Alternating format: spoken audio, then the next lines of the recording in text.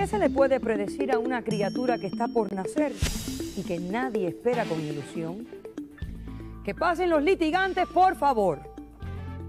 Este es el demandante, Santiago Hernández, quien le exige a su novia que aborte el hijo que está esperando, porque él ahora no tiene la capacidad de ser padre. Esta es la demandada, Vanessa Godoy, quien aduce que aunque el demandante no quiera ser padre, ella va a tener a su hijo. Saludos y bienvenidos a Sala de Parejas. ¿Cómo están? Gracias. Santiago, usted es el demandante. Por favor, explícame la demanda con detalles y lo que exiges. No, yo lo que quiero es que usted me ayude a convencer aquí a mi novia a que aborte, porque nosotros llevamos un mes, de no- un año de novio. Y entonces ahora me vino con esa, con esa noticia de que está embarazada. Y yo no estoy en condiciones de tener un niño ahora, todo- yo tengo solamente 18 años, estoy terminando mis estudios. Para que ella me venga, eso es una responsabilidad muy grande. ¿Están, eh, ¿Están viviendo juntos ustedes? No, no, no, yo vivo con mi mamá. ¿Tú vives con tu mamá? Ajá. ¿Ella vive con sus padres? Sí, sí.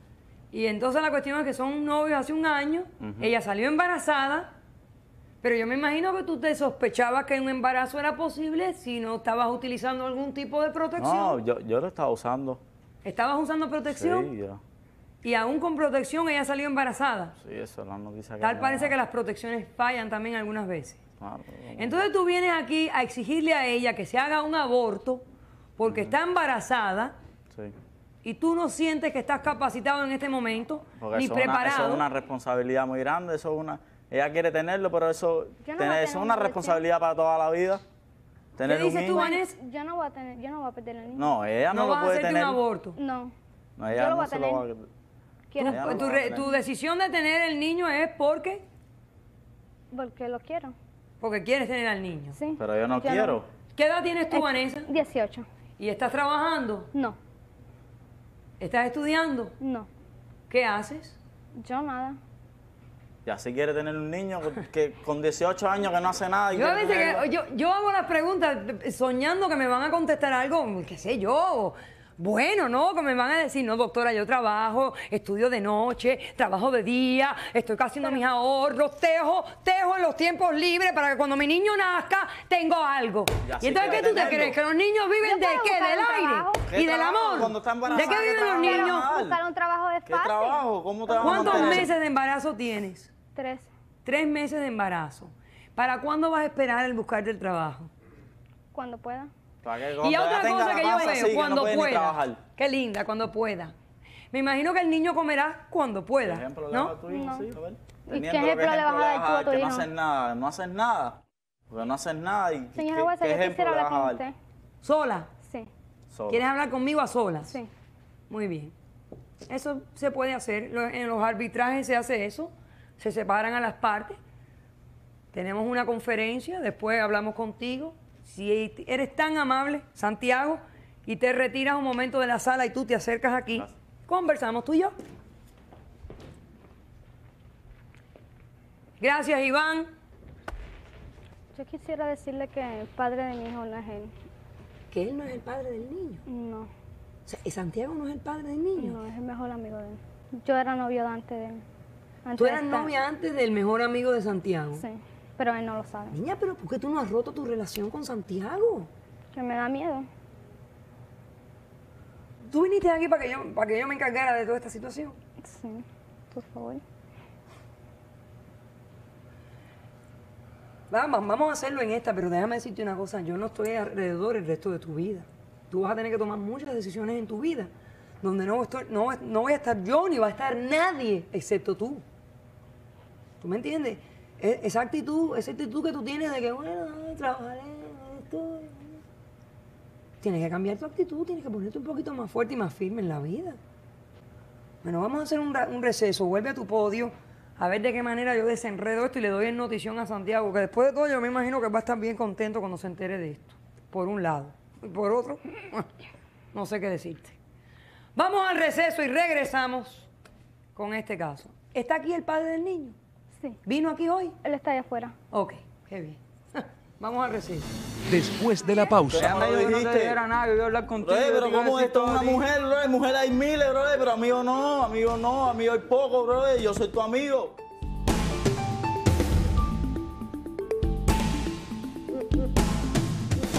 Santiago demanda a su novia Vanessa, con quien lleva un año de relaciones, y tiene tres meses de embarazo, para que se haga un aborto de ese niño que él asume de él y ella lleva en su vientre. Santiago alega de que él es un hombre joven, no estaba preparado para tener hijos, inclusive se protegía durante las relaciones íntimas con su novia Vanessa y él no se siente capaz en este momento de esperar a un niño como se debe, preparado, con dinero, con educación, para que ese niño tenga una vida buena. ¿Correcto, Santiago? Vanessa, rotundamente, dice que no. Ella va a tener ese bebito, sea como sea, pase Sí lo que pase y digan lo que digan. Pero bueno, Santiago, mi amigo, tú sabes que ella pidió hablar conmigo y yo te pedí que te retiraras de la sala. ¿Verdad? ¿Sí?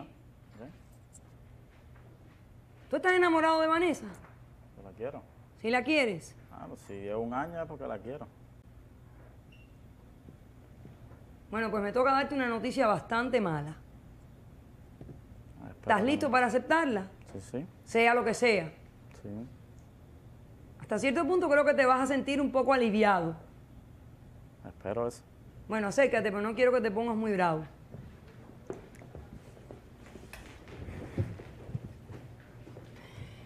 Los condones no fallaron. ¿No? ¿Qué fue lo que falló? Falló tu novia. ¿Qué hice? eh? Ese hijo no es tuyo. ¿Y de No, no, no, tranquilo, ven aquí. Eh. Ese hijo es de una persona que tú conoces bien y fue novio de ella también anteriormente. Ahora escúchame esto. Ella me dice a mí que ella no te había dicho la verdad porque te tiene miedo a tu reacción. Yo no quiero que tú te pongas ni agresivo, ni violento, ni que te exaltes más allá de lo que te tienes que exaltar de una manera emocional. No quiero que tengas una reacción negativa. Las traiciones duelen, yo las comprendo. Y lo que ella te ha hecho ha sido una traición. Fue una traición. Pero hasta cierto punto no te tienes que responsabilizar de un hijo que no es tuyo. Ese hijo es de... ¿Cómo se Su llama? mejor amigo. ¿De quién? De su mejor amigo. De tu mejor amigo. ¿Cómo se llama tu mejor amigo? ¿Quién? ¿Junior? Junior. Ignacio, ve a tu podio, tranquilito, a tu podio, y que pase Junior. ¿Qué te hice a ti para que tú me hicieras? Hola, bienvenido a Sala de Pareja. Gracias por vestirte tan bonito para venir. nada. Qué alegría me da. Entonces, ¿qué, qué, Pues- ¿qué tiene que ver el Eso pasó. Junior, ¿Eso pasó por qué? Usted es el padre del hijo que va a tener Vanessa. Eso dice.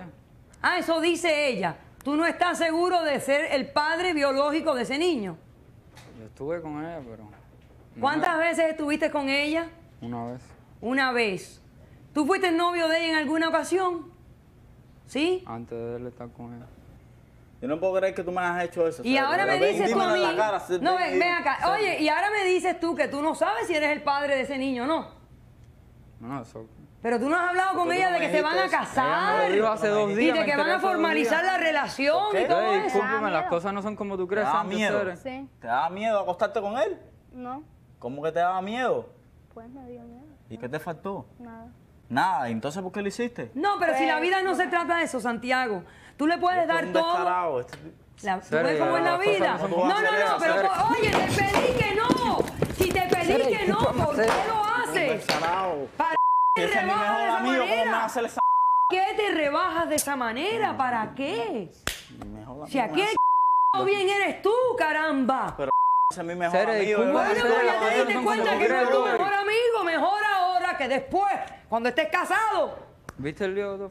Hijo, alégrate que la vida hay veces que nos pone frente a las narices. Las cosas que nos hacen falta ver desde temprano. Es un- Esto es un una lección. Y esta es otra descarada más. Oye, son dos descarados, ya lo sabemos. Mira lo que son, son par de mentirosos. Son par de Oye, ¿por qué tú no mentirosos. me lo y dijiste, ante los ojos del televidente y ante los ojos del pero dijiste. Mira, ella se ríe. ¿Por qué Ella no me lo dijo que no te dijiste? dijera nada, que yo iba a hablar contigo. Pero ¿cómo esto es una mujer, bro? Mujer hay miles, bro, pero amigo no, amigo no, amigo hay poco, bro. Yo soy tu amigo. Si según tú yo era tu amigo. ¿cómo tú me vas a hacer No, disculpa, pero no, discúlpame, no, tú eres. No, sin duda no alguna que aquí no hay disculpa que valga la pena ahora. No, yo lo que yo le No pido lo una hay. cosa, retirarme es lo que yo quiero. Usted se Porque retira. me, me han desgraciado todo. Usted queda retirado y además déjeme explicarle una cosa. Usted, ante los ojos de todos los que estamos aquí, es el hombre responsable. Porque tú te protegiste, tú le diste frente y cara a esta situación. fallé. Aquí los cobardes. Uno de los dos le fallé Aquí los dos cobardes son Y este ni se diga que viene aquí primero y niega la paternidad de su hijo. Cuando nazca el niño te hace un examen de ADN y si este es el padre de ese niño y ustedes no se han casado, lo voy a declarar el padre legal, biológico y lo voy a ordenar a pagar manutención para ese niño. Ponte a trabajar y ponte a estudiar que te va a hacer falta criar a ese niño. He dicho, caso cerrado.